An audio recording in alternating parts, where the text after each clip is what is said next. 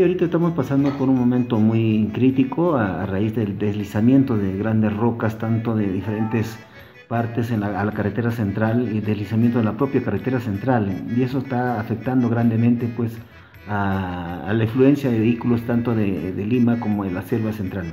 ¿Qué es lo que se registró en las últimas horas acá en la zona? Hay un gran accidente, un deslizamiento de una roca que ha habido, pues, desgraciadamente, pérdida de dos eh, vidas humanas y, y, también ha habido este, heridos ha sido trasladado a Lima y eso esperamos que el gobierno pues de una vez por todas se anima a declarar en emergencia a nuestro Instituto San Mateo. Acabamos de también recibir otra noticia no muy grata, que también un deslizamiento de la carretera central eh, por varios metros uh, se ha deslizado y eso va a per permitir pues, que no va a haber pase por muchas horas acá en la carretera central.